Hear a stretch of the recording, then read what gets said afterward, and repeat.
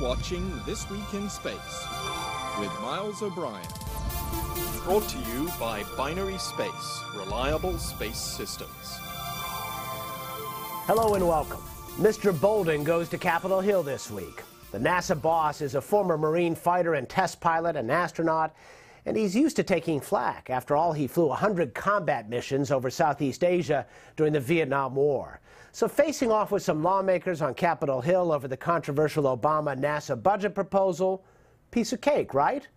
Well, it started out that way. He began with the Senate Subcommittee on Science and Space. The chairman, his former shuttle crew member, then Congressman, now Senator Bill Nelson. Uh, General Bolden, you've just made some news because you have stated that the destination is Mars. That's the goal. Do you have, in what you have just stated, do you have the approval of your superiors?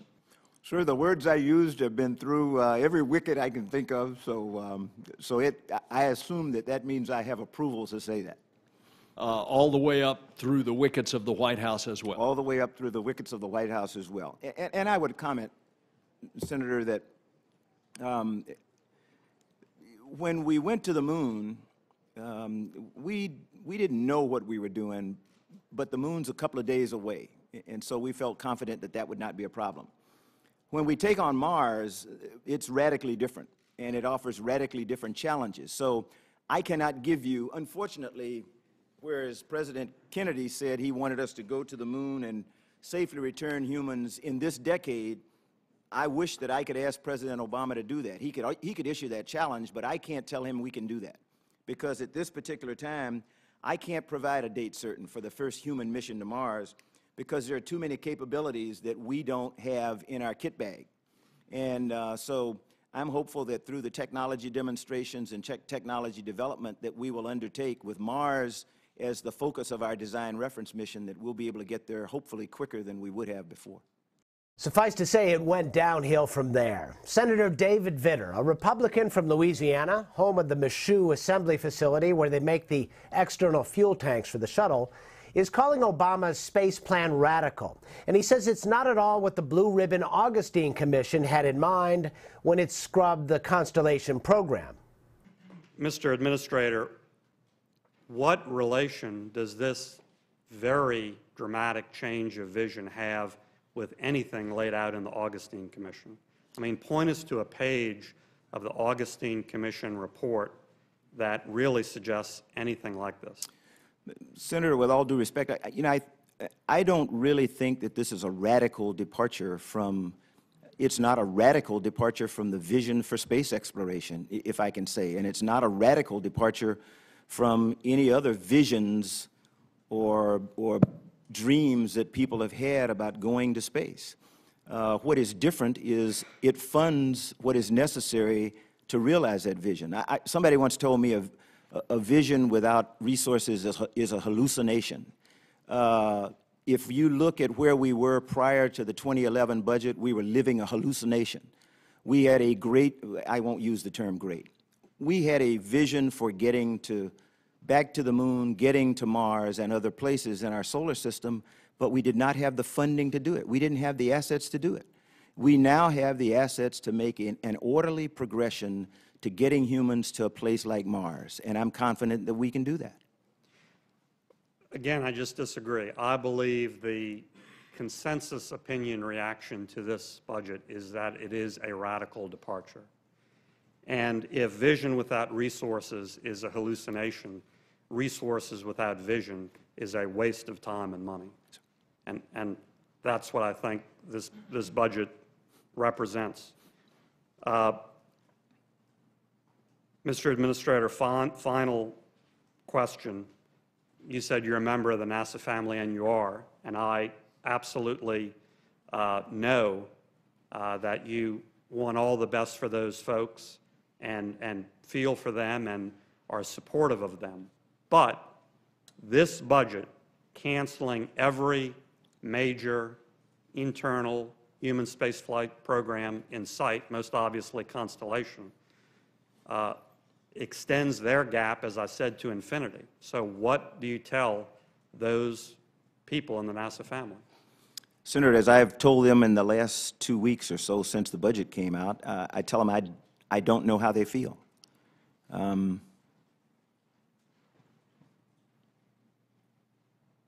my kids are 38 and 33, and they're out of school.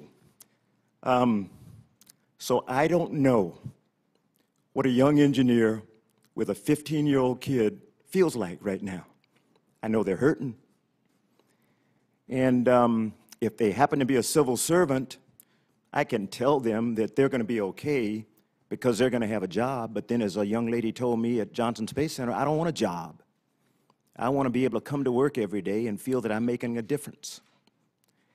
And uh, so I can tell them, as I have, that I'm going to do everything in my power to try to make sure that we develop some programs that are going to help us get to where they all where we all want to go as soon as possible. I don't think we would have ever gotten there with the Constellation program set up and funded the way it was. I don't think anyone said Constellation was a bad program. I haven't read that anywhere. Um, but I think that we can develop capabilities that will allow, potentially allow us to get back to the moon, and because we are going to go back to the moon, and will enable us to get to Mars much quicker than we would have under the quote-unquote program of record. The next day, Charlie Bolden found himself in a different orbit, namely the House of Representatives, where they don't know comedy with a T from comedy with a D. And when he appeared before the House Science Committee, it was so silly you almost had to laugh as members from Texas, Alabama, and Florida tried to out Bolden bash one another. Um, what is our next destination for America in space? The next destination for America in space, and I'm not being trite when I answer this, is the International Space Station. We've got to get there four more times this year. Uh, the big, the long-term destination, after we successfully close out the space shuttle program, uh, the ultimate destination is Mars. And there are intermediate points that we're going to have to get to before we are capable of going to Mars. If you gave me all the money in the federal budget today, I could not get a human to Mars. I could not morally put a human in a spacecraft and launch them on an eight-month mission to Mars because I do not understand the radiation All right, so what is our next destination in space? The next ultimate destination is No, Mars. the next one. Congressman, the next destination, as I said before, is the International Space Station, and All we've right, got to do that not one be more time. trite then. What is the one after that? It's Mars. So there's nothing in between as far as you're concerned. But there are intermediate stops What on are the way there. What's the next one? The moon is a, is a destination. Lagrange points are destinations. Which one is next? You mean, where do we go immediately next? Is that, is that the question? That's what next means. Congressman, I, we are in the process of developing a program. I will, ha- I will have to be able to give you the details, and I will come back and make it for the record in the coming months. So why are we even talking about how to get to the next destination? We don't even know what that is. Congressman, we do know what it is. We know what it What is it? Congressman, I, you know, we can go back and forth uh, forever. We seem to have to here. I'm looking for an answer. Okay. The next destination in the Constellation program was the moon. What about that, now, was- since uh, you're uh, planning to Congressman, eliminate the program of record and the program to which we are working right now, uh, because you have told me that I have to continue to, to work the Constellation program. Uh, you know, we're, we're talking about the 2011 budget, but if you ask me right now, the next destination is the moon. Honestly, I'll tell you, my time is up now, so I'm going to tell you this briefly. I think that what you're doing is taking a shot in the dark. You have no way of knowing if any commercial entity will ever be able to put a man in orbit, no matter how much money you throw at them. What you're doing is you're taking NASA's manned space program and making it a faith-based initiative. If you want to see that exchange in its entirety, click on the clip called Bolden versus Grayson in our YouTube channel. By the way, you can see all the hearing action in its entirety if you're having trouble sleeping. While Charlie Bolden was trying to land some support for that new NASA budget on Capitol Hill, the Space Shuttle Endeavour was fresh off its nighttime landing at the Kennedy Space Center. Main gear touchdown. The six person crew, led by Marine Colonel George Zamka, the guy they call Zambo, logged a successful mission to the space station, installing the Tranquility node with its stunning cupola. Matter of fact, station keeper Soichi Noguchi watched Endeavour streak through reentry from there. He tweeted that the view was definitely out of the world. Not a haiku, no, but he uses left side brain. I cut him some slack. Bet you didn't know it, I was a poet. From haikus to minuets, Twist is taking you upscale this week with the precisely choreographed move from horizontal to vertical. And no, I'm not talking about getting out of bed with a hangover. I'm speaking of Discovery's move from the orbiter processing facility or hangar to the big vehicle assembly building for mating. Now, don't worry, teachers, shuttle mating is G rated. It's all about connecting the orbiter to its big burnt orange external fuel tank, which has the solid rocket boosters attached to it. The finished product, the Space Shuttle Stack, is slated to begin a slow roll to the launch pad on March 2nd. Launch to the space station is set for April 5th. Don't forget, the best place to watch the launch is on spaceflightnow.com. When the shuttle stops flying, the U.S. government will no longer be in the business of building spacecraft for its astronauts to fly into space. We can only hope this is a temporary suspension in membership of a very elite club. Still, the Obama space budget says the National Research Council will take a hard look at the role and size of the astronaut corps. No bucks, no need for Buck Rogers. But in India, they're ready to invest some rupees on future Ramu ramjets. The nation's space agency says it is ready to join the club. They're vowing to send a pair of astronauts into space in the next six or seven years. It's not wise to curry. And from our very busy last ever desk, an item this week from Big Love Country, northern Utah. Rocket builder ATK staged its last test firing of a shuttle solid rocket motor. Awesome. Beautiful. Since 1988, ATK has conducted 34 ground tests to verify performance and safety margins and test new materials. ATK says it will march ahead with a static test of an Ares 1 style booster. Even though the program is a goner, NASA has already paid for it, and the tests will go on. It's time for us to take a deorbit. When we relaunch, we'll take you to one of Saturn's moons, where they appear to be making snow for the ski season. We'll tell you about the amazing ice jets of Enceladus.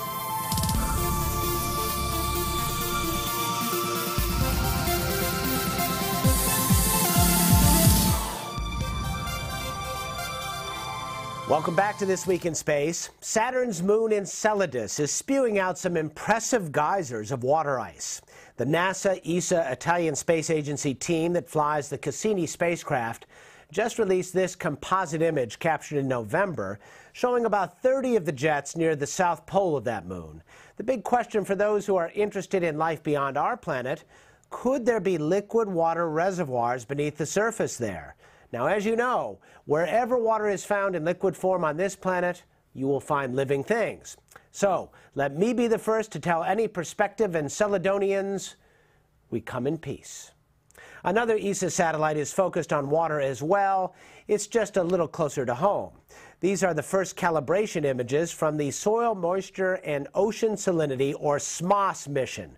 Launched in November, this satellite is designed to help scientists better understand the water cycle on Earth, and that will help them improve weather and climate models. Back now to our top story and the seismic shift at NASA. The Obama budget for the space agency put some big bets on some commercial players to work more independently to get cargo and ultimately humans to and from low Earth orbit to the space station. But there are a host of concerns about transferring so much risk outside the space agency. One of the main players in this game is Orbital Sciences. Like its competitor SpaceX, the company is building a vehicle to deliver cargo to ISS under contract to NASA. Veteran astronaut and NASA manager Frank Culbertson is now a senior VP with Orbital and he was listening intently, as I was, when his former fellow astronaut Hoot Gibson said this in that Senate hearing. Uh, I don't think that we could arrive at the right place if we just say we're going to build it for cargo with some relaxed requirements, launch it a couple of times and see what our success rate is, and then declare it safe for human spaceflight. I think there's going to have to be a rigorous process that we go through in the same manner that we do on the vehicles that we develop ourselves. So, what he's saying is a level playing field when it comes to requirements for human rating. Do you agree with that? Well, I think what he's really saying is that there's a, a minimum standard you have to meet, um, no matter what vehicle you're using or who's providing it, in order to ensure safety of the uh, of the occupants, particularly in spaceflight, as hard as it is.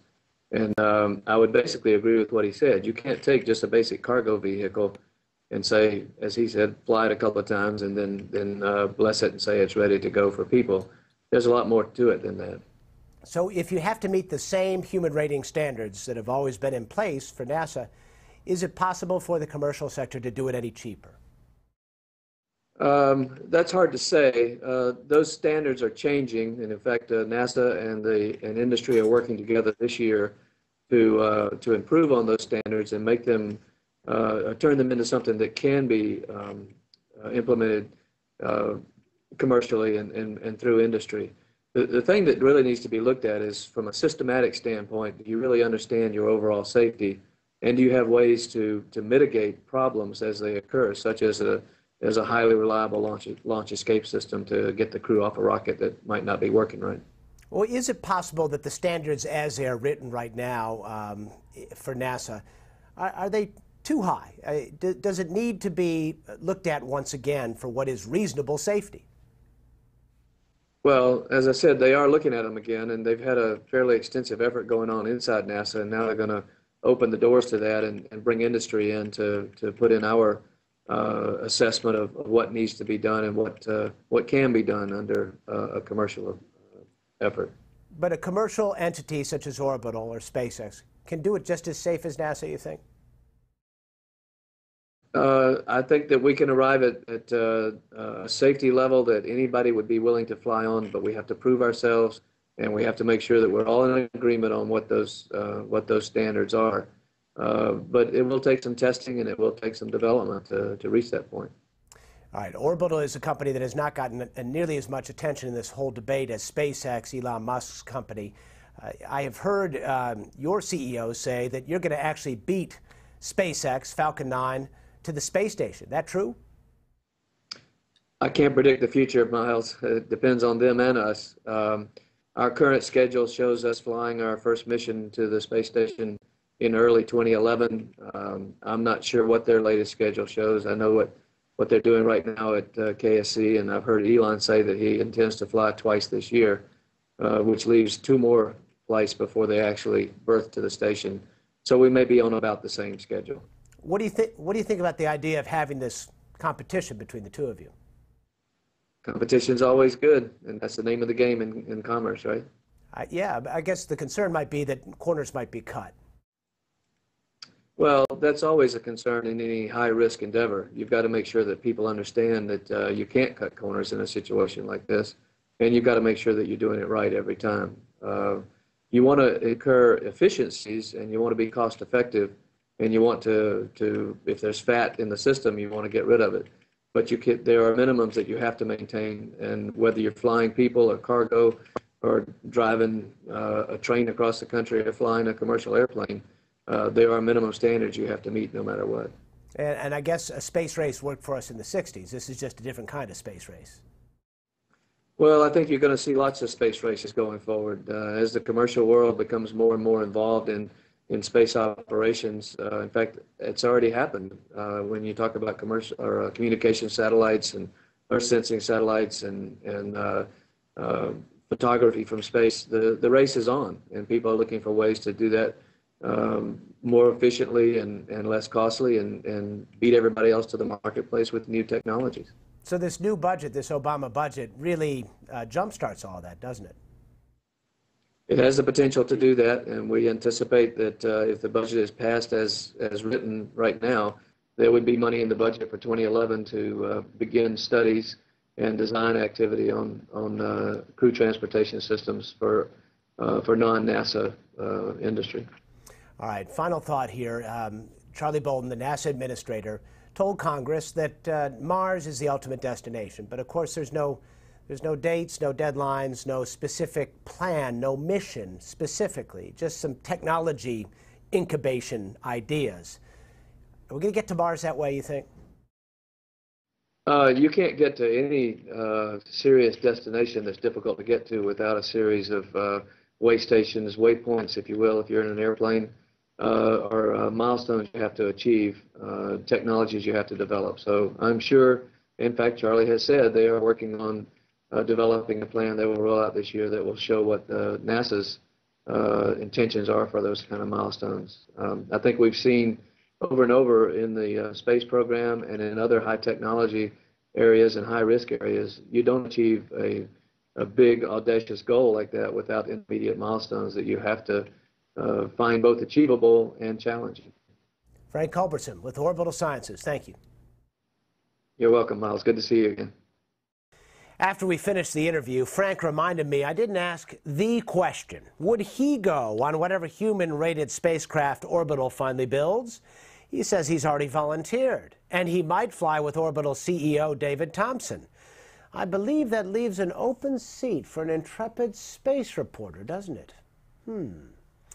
Kids love space and dinosaurs, so I have always believed that if we could put a dinosaur into space, we would have a nation of space-loving high achievers in math and science.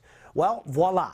Astronomers using the Hubble Space Telescope have found some galaxies that are tantamount to seeing a dinosaur wander into your backyard. It's a group of small galaxies that are still in the early stages of formation, but they're much closer to us, only 166 million light years, and thus much younger than galaxies at a similar stage that scientists have seen before. For some reason, these small galaxies waited 10 billion years to get together. Now, that's a long courtship.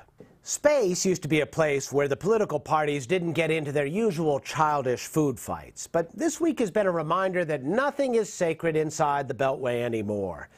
And now we found another potential wedge issue. It's up there in the stars. Turns out a quarter of the star clusters in our galaxy, the Milky Way, are actually aliens that migrated to our neck of the cosmic woods. The study comes from Swinburne University of Technology in Australia. So let me get this straight. If any of those galaxies should happen to harbor life forms, they would be alien aliens. Quick, someone build a wall. It needs to be about 100,000 light years in diameter. Does Lou Dobbs know about this? Maybe the prospect of an alien invasion would get more people interested in space exploration. But short of that, it is important that those of us who have a passion for this remember to bring the taxpayer along for the ride. Maybe one day literally, but definitely now figuratively. That was one of the points I made to Senator Bill Nelson this past week when I got a chance to testify. You noticed things that have to change and that NASA has to change. How can you? I'm asking you an impossible question, but it's one that we have to we have to ultimately answer. How, how do we get from the doom and gloom of the perceived program through this paradigm shift to make and remake a new NASA? It's really important we bring people along for the ride, one way or another. And I thought it was really, uh, I, I, was struck and impressed that there is talk in this budget about participatory exploration.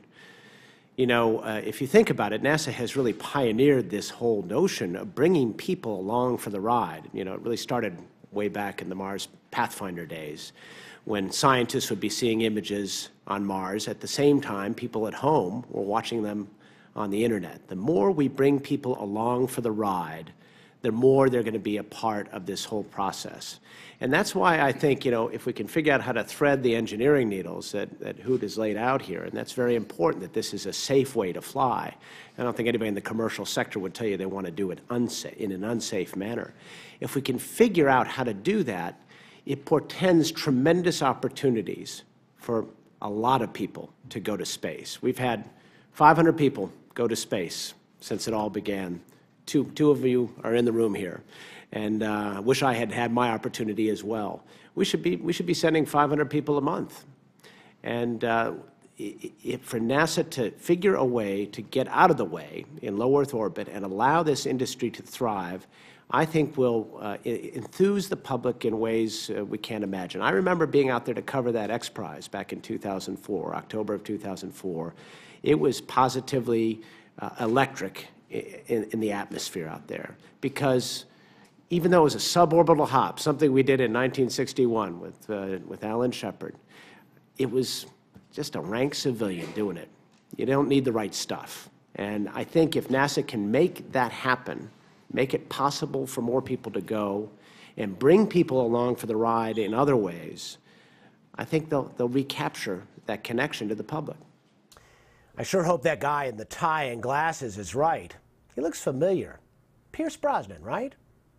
Anyway, I better get out of here. Thanks for being with us on this edition of This Week in Space. We appreciate your support of our efforts. Thanks for the financial contributions you sent us via PayPal at spaceflightnow.com slash twist. You can drop us an email at twist at spaceflightnow.com. We got a good one this week from David Sheriff in the UK. He writes, Mr. Bolden seems so negative, as the senator is saying over and over again, no goal, no ideas, no target.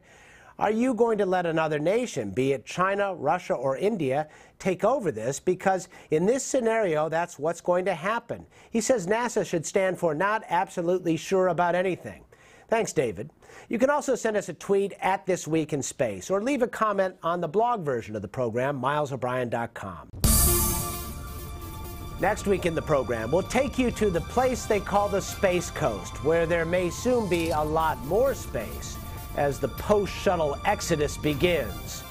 The hard landing everyone dreads there next time on This Week in Space. We'll see you then.